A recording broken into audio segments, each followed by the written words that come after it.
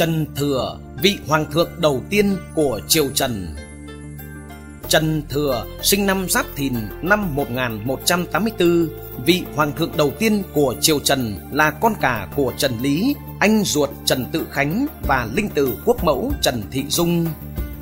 Ông tổ của Trần Thừa là Trần Kính, vốn gốc ở Đông Triều, nối đời làm nghề đánh cá. Trên đường đi tìm đất làm ăn sinh sống, đã cắm sào dừng chân ở Thức Mạc, Nam Đình. Kính lấy vợ ở Tức Mạc, sinh ra Trần Hấp, tìm sang Hải ấp Thái Bình, nơi giáp danh các sông Nhị Hà và sông Hải Triều là vùng đất cổ chủ phú, rồi định cư ở đó. Nhờ có công phò tá triều lý khôi phục được kinh thành, năm Bính Tý, tức năm 1216, Trần Thừa được vua Lý Huệ Tông phong làm nội thị phán thủ. Năm Quý Mùi, tức năm 1223, khi Trần Tự Khánh mất, vua phong cho Trần Thừa làm thái úy phụ chính. Khi Lý Chiêu Hoàng làm vua, Trần Thủ Độ đã nghĩ ngay đến việc truyền ngôi cho Trần Cảnh, con trai thứ của Trần Thừa. Bèn thưa với Trần Thừa việc ấy. Trần Thừa ngần ngại Chúng ta với Thái Hậu và Chiêu Hoàng là chỗ họ ngoại trí thân. Nay làm cái việc tranh đoạt ấy Tôi e chẳng khỏi mang tiếng với hậu thế. Trần Thủ Độ phân trần. Tôi xem diện mạo Trần Bố Tức Trần Cảnh. Mũi cao, hai gò má trồi Đúng là long chuẩn long nhau. Tính lại rộng rãi Biết thương người Có khí độ của vị Thái Bình thiên tử và chăng thời thế lúc này chỉ có họ Trần thay ngôi nhà Lý mới cứu được vận nước suy vi. Trời cho mà không lấy sẽ phải chịu tai ương, xin đại huynh nên nghĩ kỹ. Trần Thừa bảo thủ đỏ mọi việc tùy chú định liệu, làm sao cho thành sự thì làm. Hóa nhà làm nước hay đến phải diệt tộc cũng ở một chuyện này đó. Khi Trần Cảnh lên ngôi vua, nhiều đảng loạn mượn cớ phủ lý chống Trần nổi lên ngày càng nhiều. Trần Thủ Độ mời Trần Thừa làm thượng hoàng, lo giúp Thái Tông điều khiển triều đình để Thủ Độ giành tay dẹp loạn. Không đầy một năm, Thủ Độ đã vừa đánh dẹp vừa thu phục được các đảng giặc để trở lại nắm triều đình.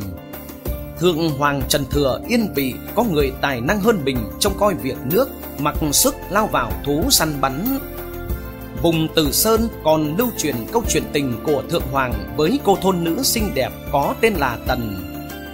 Sáng ấy Trần Thừa cùng lính tùy tùng về châu cổ Pháp để săn chim. Xế chiều, Trần Thừa bắn trúng một con bạch trĩ. Mũi tên không trúng vào chỗ hiểm nên bạch trĩ vẫn đủ sức xả xuống bay truyền từng đoàn.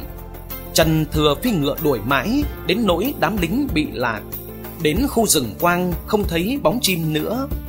Thất vọng định quay về, Thì ở một đồi sắn gần đó Có cô thôn nữ khỏe mạnh, xinh đẹp, Vừa làm vừa hát. Trần Thừa tìm đến. Khi thấy Trần Thừa, Cô gái sợ hãi, Luống cuống về sự ăn mặc trễ tràng của mình. Sự e lệ càng khiến cô gái thêm vẻ quyến rũ. Cô biết Trần Thừa là người quyền quý Niềm tin vào quyền quý khiến cô gái không còn thấy sợ nữa. Vị thượng hoàng đắm đuối ngắm cô gái, hỏi thăm gia cảnh cô. Cô tên là Tần, cha mất sớm, chỉ còn mẹ già. Trần Thừa giải bày tình yêu nồng nàn của mình. Cô gái phần vì khiếp nhược chỉ e lệ mà không dám chối từ. Chiều ấy, đám lính tùy tùng không tìm thấy chủ bởi vì Trần Thừa đã về nhà Tần ép cô gái phải chiều chuộng mình. Sáng hôm sau, Trần Thừa từ biệt gia đình lên ngựa về kinh. Linh cảm một điều hệ trọng sẽ xảy ra. Tần chạy theo níu lấy áo Trần Thừa khóc như mưa. Cô nói tới trách nhiệm của người đã làm chồng cô một đêm. Trần Thừa thề thốt sẽ quay lại và để làm tin, ông đã rút kiếm cắt một vạt áo tía của mình trao cho cô gái. Ông dặn cô nếu có bè nào hãy tìm ông ở kinh sư. Rồi năm tháng qua đi, Trần Thừa đã quên bẵng hình bóng và những kỷ niệm sâu sắc với cô thôn nữ khu rừng săn ấy. Còn Tần, cô đã lo đúng điều đã xảy ra. Cô đã mang thai, chịu búa rìu dư luận nhưng cô vẫn không về kinh sư tìm Trần Thừa. vì cô biết nếu Thượng Hoàng yêu cô thì đã quay trở lại. Rồi cô sinh được một bé trai khỏe mạnh. Đứa bé được đặt tên là Trần Bà Liệt. Lớn lên, bà Liệt theo học một lò vật và khỏe mạnh ít người địch nổi. Năm ấy, kinh sư có giải vật lớn nhằm tuyển chọn nhân tài ra giúp nước. Vua Thái Tông và Thượng Hoàng đều xuất thân đến xem. Đô Liệt cũng về dự. Sau cả tuần thi vật, Đô Châu, tức khỏe như Châu, đã lần lượt hạ hết các đối thủ. Đô Liệt xin vào tỷ thí. Ngay từ đầu, Đô Châu đã phải gồm sức khỏe của Đô Liệt. Chống thúc dồn dập, keo vật sôi đồng.